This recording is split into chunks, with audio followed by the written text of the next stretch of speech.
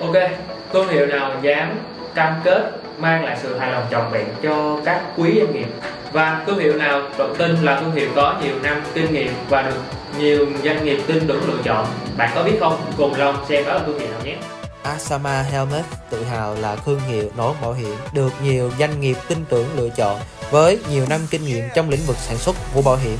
Asama Helmet tự hào là công ty cung cấp giải pháp truyền thông hiệu quả với mũ bảo hiểm. In logo giúp hàng trăm ngàn doanh nghiệp lan tỏa thương hiệu, sản phẩm, dịch vụ đến với hàng triệu khách hàng.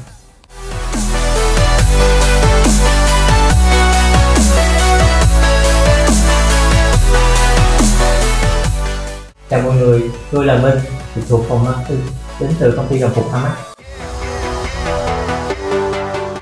Chúng tôi đã lựa chọn mẫu áo bảo hiểm Asama. Đây là lựa chọn hoàn hảo cho chiến dịch của chúng tôi. Sau khi nhận được nón bảo hiểm, chúng tôi rất hài lòng với chất lượng và thiết kế của sản phẩm. Nón bảo hiểm Asama không chỉ đẹp mắt mà còn rất thoải mái khi sử dụng. Chúng tôi đặc biệt ấn tượng với sự chắc chắn và độ bền của sản phẩm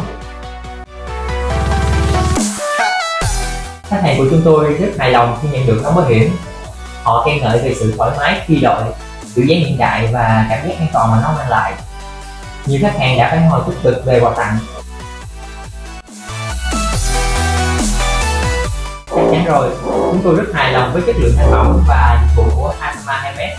Trong tương lai chúng tôi vẫn sẽ tiếp tục hợp tác với Asma À, với những lợi ích mà tôi nhận được thì chắc chắn tôi sẽ giới thiệu cho các doanh nghiệp tôi quen biết. Asama Helmet nâng tầm thương hiệu của bạn